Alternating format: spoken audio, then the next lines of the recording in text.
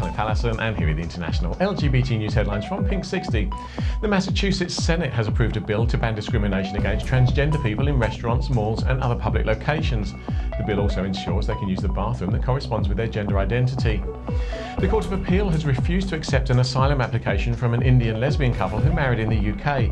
They claim their marriage wouldn't be recognised and their right to a family compromised if sent back. They plan to appeal the decision.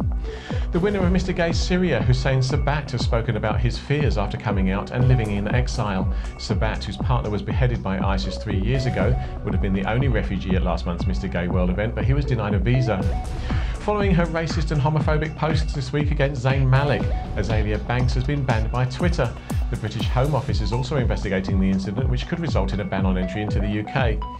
And finally, the United Nations have released a new video for next week's IDAHOT Day as part of their ongoing Free and Equal campaign. The film shows activists from around the world holding up banners saying what they're fighting for.